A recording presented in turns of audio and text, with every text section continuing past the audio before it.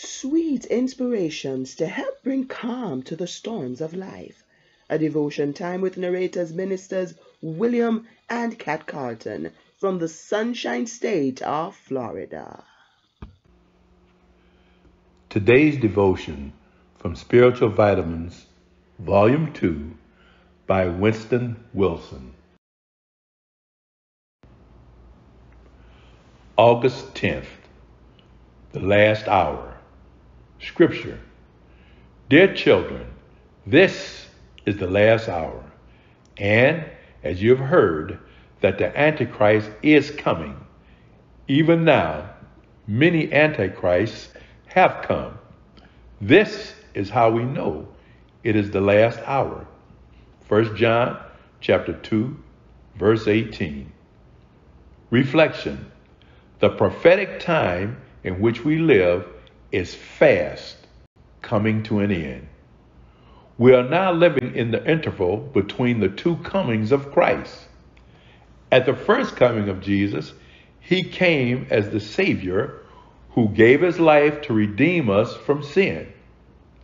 At his second coming, he will establish peace, righteousness, and justice over the entire earth. In this present age, God is taking out a people from among the Gentile nations for himself.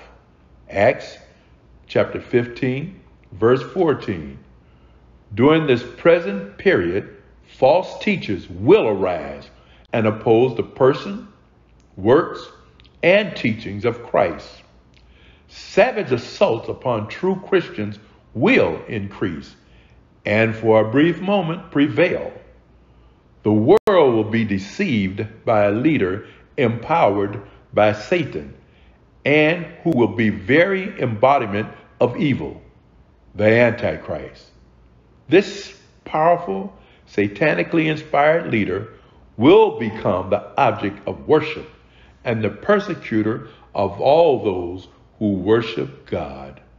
The governments of this world are even now fighting against God, seeking to remove all vestiges of God from the public forum. They are preparing the world, unwittingly, for that superhuman leader who will turn this world into a living nightmare for the true believers in Christ. Satan is at his best when he lies, steals, and murders. His men will have mastered his craft and will fully execute the devil's will. Very dark days lie just ahead of us because men are rejecting God's salvation. Are you making known your stand for Christ? Prayer. Lord, help me to shine for you in this dark world. Amen. Wisdom. Evil will reach its nadir or lowest point after the church is raptured.